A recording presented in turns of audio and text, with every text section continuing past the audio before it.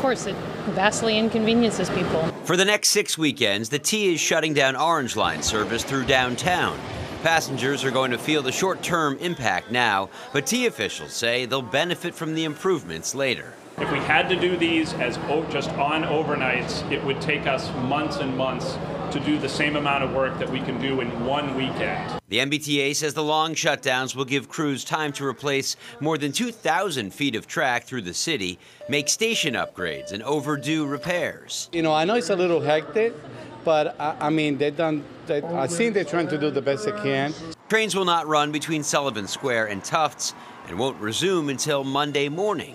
And that aggressive weekend shutdown schedule will continue until the work wraps up on Sunday, November 10th. I'm not a planning person or a technical engineer. If that actually makes it better, then it's probably worth doing. You can probably look inside that bus and see all those people that are getting on this morning. I mean, we're talking about a crowd of dozens of people over there on that platform. Now, during this disruption, fares will not be in, collected in these impacted areas. One other option, by the way, it is pretty inexpensive. You can take these blue bikes. We know it's getting cold out here, but there'll be some warm days ahead. If you can take those blue bikes, they are just a dollar for the first 30 minutes. Either way, obviously, this is an interruption to everyday service on the weekends. We're live in Charlestown. Josh Brogadir, WCVB.